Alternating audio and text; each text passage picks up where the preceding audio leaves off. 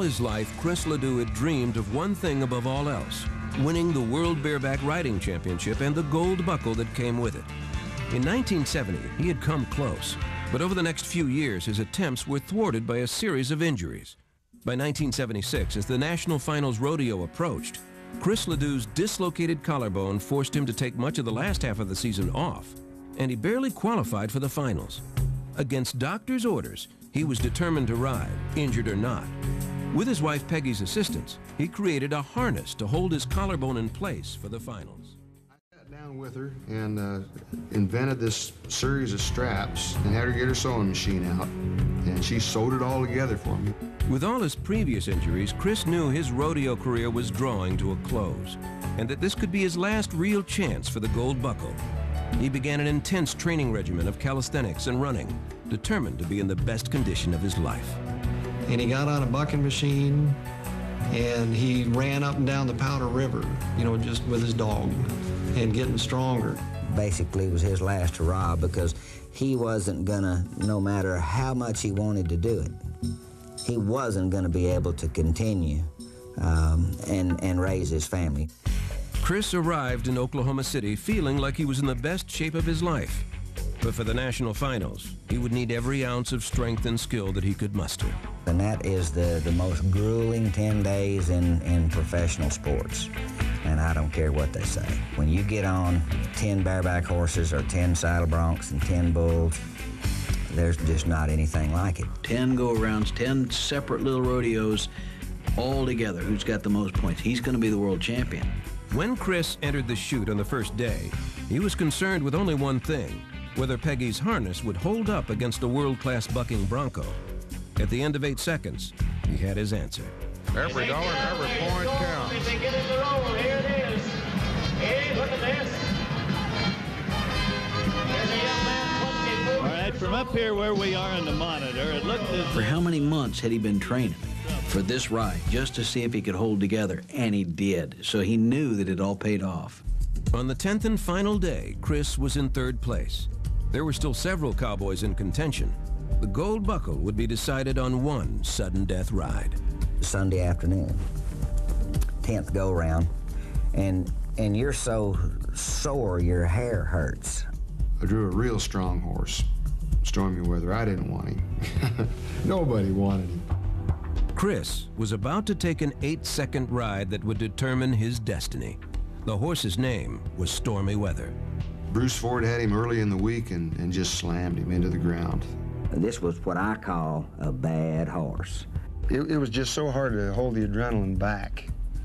And I can remember seeing that big buckskin standing in the chute. And as I climbed the gate, I thought, you know, I, I feel like I'm sort of losing it.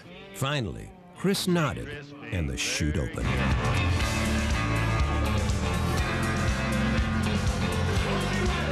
And then he took a hell of a fade to the left, like a freight train going by. I could hear the rosin just screech. well when Ledoux rode that horse uh, through that jump when he turned back, he may have ridden him to a world championship. He was just hanging on by his fingertips. He hoed it out of him, is what we called it uh, at the time. Made a great ride. It was just a textbook ride. Chris's amazing ride put him well past everyone else in the standings except for Chick Elms. When Chick got bucked off, it was all over. It all started to sink in. Oh my God, I, I win. You've ridden all of the very toughest horses, no chance of luck being involved. I was just lucky, uh, just thankful to be alive, you know, and still have my arm in one piece. Chris Ledoux had realized his lifelong dream, but at the moment of his greatest triumph, someone was missing. I don't think there was ever a more lonely moment for him in all of his life than that minute. The only sad part of it, Peggy couldn't be there because she was expecting Ned. And even though there was thousands of people cheering and calling his name and slapping him on the back, all they could think about was her. As he had after every ride, Chris ran to a payphone to tell Peggy the news. He was the new world champion bareback rider. He strapped on that gold buckle, and I don't know that there's anybody uh, been any prouder of an accomplishment th- than that. You know, when he got it, he cried. You know, and I think all of us did. Well, nothing could compare with winning the world championship because you, you sacrifice so much to do that. At that moment, the legend of Chris Ledoux began to assume mythic proportions. His eight-second ride and determination to succeed became one of the heroic legends of the American rodeo. Even more, his cowboy music assumed a new authenticity. He was not just another cowboy singer-songwriter. In the world of rodeo and cowboys, he was the cowboy singer. He was the world champion bareback rider who had lived it all, and his storybook life was in his music. He was singing music that they understood and they lived. And when I die, you can bury me beneath these western skies. Yippee-yi. To the guys going down the road, I'm talking about the, the, the kids uh, pulling on, on bareback riggings and, and throwing ropes at steers and that kind of stuff. He was as big as Garth Brooks is today. He doesn't sing about winning the championship. He did. He stayed on the circuit for another few years, but never again got close to winning the national final. But the legend grew as Chris continued to chronicle his life in his songs. Each year, fans would eagerly await the release of a new Chris Ledoux tape and his simple yet poignant stories of life as a cowboy. In 1984, with his body giving out, he finally hung up his spurs for good. Nobody in any professional sport wants to wants to say, you know, I give, I quit. You know, it's, it's weird to fly with eagles and all of a sudden, man, you're just an old fella with, with the rest of your life and, and nothing. Coming up on CMT Inside Fame, the door to Nashville is opened when Chris Ledoux hears his name mentioned in a hit song by an unknown singer named Garth Brooks. This song came on and mentioned something about rodeo, so I turned it up. And uh, then it mentioned the worn out tape of Chris Ledoux. And later, Chris Ledoux battles for his life.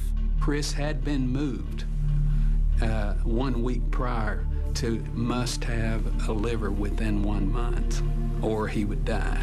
When CMT Inside Fame continues. A horse trailer on a Cadillac. Yeah, we're talking to the cowboy in the Coupe de Ville. When Chris Ledoux won the World Bareback Riding Championship in 1976, he had realized his dreams of rodeo stardom. I'm a going and a blowing and a heading down the road trying to make a living rodeoing. However, it was not time for Chris Ledoux to ride off into the sunset. As his father had predicted, the sale of his tapes had become Chris's principal source of income. When he walked away from the rodeo, a whole new life was about to present itself. It started when a DJ at KSOP in Salt Lake City got a call from a relative who worked in a Western wear store. She says, uh, have you heard of this guy named Chris Ledoux? And I said, who? And she said, Chris Ledoux. Says, all the young cowboys are coming in here buying his albums and tapes. Country Joe was the guy who pretty much took Chris Ledoux to the airwaves. He started playing his records, and it just took off from there. It kind of created a following for me down there, and I didn't realize it. By 1987, unbeknownst to Chris, Country Joe had made him into a star in Salt Lake City, a major rodeo town. The kids knew all about Chris Ledoux and they loved his music. When the station began planning a local concert, Country Joe knew who the headliner should be. We said, well, let's do a country show at the uh, Salt Palace in Salt Lake City at the old Acord Arena. So I said, Chris Ledoux will be our headliner. There's 10 or 20 acts on it. Uh, and they had me as the headliner. And I'd never performed for anybody except in a motel room. I was terrified. So when he finally came to his point in time to get up there on stage, my knees were knocking, I was sweating, I was scared, I couldn't sing, my mouth was dry. He walked out on stage and the kids just went crazy before he even did anything. The songs we played, the, the fast ones were too fast, the slow ones were too slow, but the crowd didn't seem to care. Chris Ledoux had found a new life. Little by little, he began performing. When demand increased, Chris picked up a local Salt Lake City club band called Western Underground. They brought a rock and roll edge to Chris's music. The crowd started getting younger and rowdier. There's a little outlaw inside of Chris that likes to get out and do a little rock and roll every once in a while. He just became this kind of a wild man. It's like um, uh, Roy Rogers meets um, Aerosmith. By the end of the 80s, Chris's cult-like following was filling arenas and concert halls. In addition, The family business had sold over a quarter million records, but Nashville was still not interested. Nashville pretty much viewed Chris Ledoux as a regional artist with limited appeal. They said they didn't understand the kind of songs he was singing. It was rodeo and ranch, and whoever heard of that? Outside the rodeo and cowboy world, he received little notice until 1989, when an up-and-coming superstar helped thrust him into the Nashville spotlight. Me and my wife were driving down the road and heard this song. And it, it was talking about rodeo, and I, so I turned it up, and he then the worn-out tape of Chris Ledoux came on. A worn out tape of Chris Ledoux, lonely women and bad booze. He pulled off the side of the road because it, it shocked him. And I think the first thing Chris thought was maybe my music was re has really been reaching people. His name had finally reached beyond the rodeo world. Nashville could no longer ignore Chris Ledoux. A curiosity started forming over what, who's this Chris Ledoux guy? You know, as Garth got bigger and bigger, uh, the curiosity for who's the name in this song became more and more. Garth Brooks knew about Chris Ledoux, and he was hip to what was happening with Chris in his career. Now, I'm certain that Garth whispered that to the powers that be at Liberty. So everybody would ask him, well, who's this Chris Ledoux guy? You know, he's this great rockin' cowboy guy, and he's just different. That's all he would say. He's different. When Capitol Records sent their man to Denver to check out a Chris Ledoux show, he was both impressed and surprised. It was loud, raucous, and the first thought I had was, this is Led Zeppelin meets country music. First thing I did was call Bowen and said, sign him now, he's tremendous. With the help of a single line in a song, Chris Ledoux's career had been transformed. Larger and larger audiences were being exposed to Chris's live concert, one of the wildest shows in country music. An eight-second ride that lasts for 90 minutes. It was boom, you know, everything explodes, and all of a sudden it's it's complete chaos. Oh, we got flames coming up the back, and we got things coming off the drums and concussions that'll just shake your seat over to the left and everywhere. And we got this bucking machine too, and it's the crowd pleaser. Other artists have borrowed from Chris's high-energy concerts.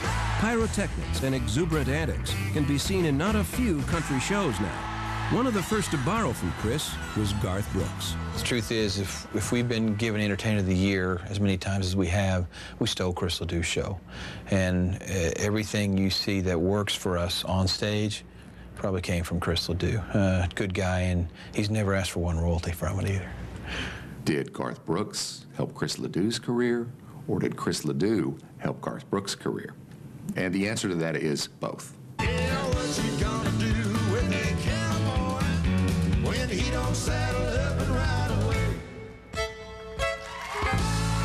Chris Ledoux's storybook life continued through the 1990s. The world champion cowboy with a gold buckle was now a successful recording artist with gold records. His marriage to Peggy was as strong as ever, and life was good with their five children on his Wyoming ranch.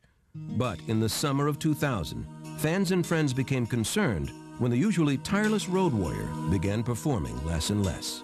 He could run down really quick, and, and it was taking its toll. When we did that final show, September 25th in 2000, it was, uh, boy, he was, he was sick. And I thought he looked kind of thin, but you know, Chris is not very heavy anyway. And Peggy called after they got home and said that uh, he got real sick and went to the doctor. Doctors informed Chris he was suffering from chronic liver disease and that it was imperative that he receive a liver transplant within six months. Without one, the indestructible cowboy would surely die. Mom was the one that told us, you know, and we kind of sensed something, you know, like the yellowness and the, the weight loss and stuff. He's such an athlete, and it was such a shock that this could happen to someone who's in that great a shape. When they told me, you know, I, I had this liver problem, it's like, okay, you deserve some bad luck. you know, you've had such a great time. It's, you know, it's your turn to to bear a cross. And I have to tell you, my thoughts on that were uh, maybe I've seen his last concert. When Chris called me and told me what was going on, uh, they had put him on a must-have a li liver within six months. You know, here's a guy that's a man's man that you think is going to live forever, and all of a sudden has six months to live. Chris was placed on a transplant list.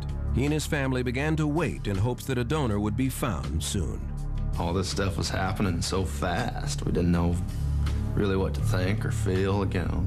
When Garth Brooks found out the severity of Chris's illness, he immediately called Chris's Nashville office. He said, well, I'm your man. Uh, uh, I want to give Chris part of my liver. And I said, Garth, you don't know what you're saying. And he said, you know, it doesn't matter. He said, uh, Chris needs something, and I owe everything that, uh, that I have to Chris Ledoux, and I'm your man. Garth offered to be a donor who gives 60% of his liver to the recipient. If successful, both sections regenerate to full size in two months. Chris adamantly refused the offer. However, after two days of intense discussions with Garth, Chris relented. Garth Brooks asked me uh, to not talk about this, and when he asked me not to talk about this, uh, I told him that Chris had already told me that at some point Chris was going to talk about it. Yeah, he's been kind of like a little guardian angel to me. You know, anytime something something comes up, you know, he's he's kind of always there. Garth immediately flew to Omaha and underwent a full day of physical and psychological tests at the transplant center. The results came back quickly. He was not a compatible donor. With Garth no longer a possible donor, Chris and the family continued to wait. We all realized, you know, Chris might not get a donor. And Chris had been moved uh, one week prior to must have a liver within one month or he would die.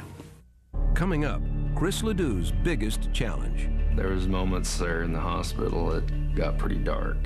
When CMT Inside Fame continues.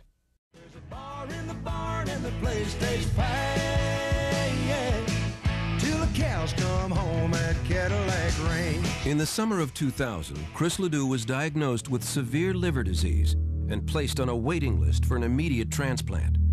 What was once thought to be a lingering case of hepatitis was now confirmed to be a congenital disease called primary sclerosing cholangitis. Given only six months to live, he waited as a donor was sought. As time passed, his condition worsened. Soon, his physicians upgraded the urgency of his state, telling him he must have a liver transplant within 30 days or he would not survive. Chris, his wife Peggy, and his family flew to Omaha to be near the transplant center as they waited. There was moments there in the hospital that got pretty dark, you know. And, but, yeah, I don't know, there was just something that just seemed to light, light the way. Finally, as time was running out, a donor liver was located. Shortly thereafter, Chris went to surgery to undergo the transplant. Not only was the surgery itself life-threatening, but there were no guarantees that the procedure would be successful. Peggy was right there with him the whole time. I know we tried to get her to go eat lunch with us, and she just, she wouldn't even leave his room. Yeah, it was really tough on her. But she was solid, you know, through the whole thing. We spent two months in the hospital. When the surgery was completed, the prognosis was positive. The surgeons reported a successful transplant. When they said, well, he, he's uh, come out of his surgery and, his, and uh, the, the transplant's working well and everything, you know, we all breathed a sigh of relief, but it didn't surprise any of us. I mean, the guy's just tougher than boot leather. I don't think most people realize how close he was to not being with us. It was very, very close. And uh, it's really a remarkable story in recovery, and we're thankful that he made it, but it was pretty frightening there for a long time. Everything that happens in his life seems to just add fuel to the fire of this legend, including his liver disease. He's the cowboy with nine lives, and he's only about on like life number two now. And it's all true, it really happens. You can see it happen before your eyes. Chris Ledoux added another chapter to the legend of the great American cowboy. He looked death square in the face and walked away the winner. He soon returned to touring, recording, and living the life he loves on his ranch. And his fans can look forward to more installments of his life as he continues to chronicle his amazing story in his cowboy songs. Well, he's tall in the saddle, short on the cash, the last to quit, the first to buy the beer. He's a knight in leather armor, still living by the code. It's made him what he's been a hundred years. He's opened his heart up to the public and just given a little, little inside look that, hey, you know, if you've got the determination and the guts to do this, then you can do anything. If you see a Chris Ledoux show, outside of the fun and the energy that you see, if he says something, they believe him because he doesn't say anything that he doesn't mean. Doesn't say anything he doesn't mean. And the uh, that's why we all look up to him. It's a, he is a stand-up champion. He's the kind of fellow that you pray your daughter will bring home.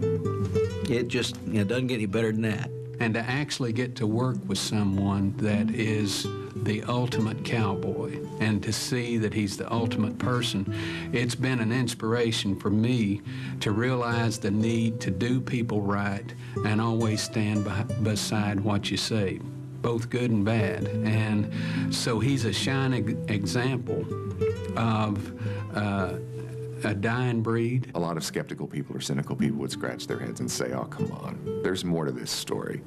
You know, th- how could this happen? You know, this can't be that real.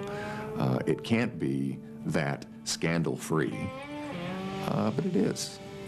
It really, truly is. This guy is everything he represents himself to be.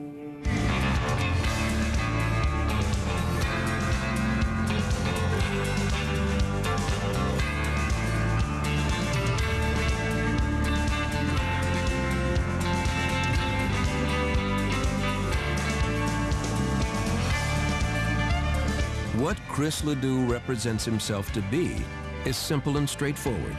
He is a cowboy. He has molded a life right out of a tattered Louis L'Amour paperback and become a hero to millions. You know, hopefully there, maybe there were some positive things that came out of it. You know, uh, you know, maybe the songs touched him in a in a certain way that they made him feel good. Uh, come to a show and and uh, you know for an hour and 15 minutes just have a, have a great time.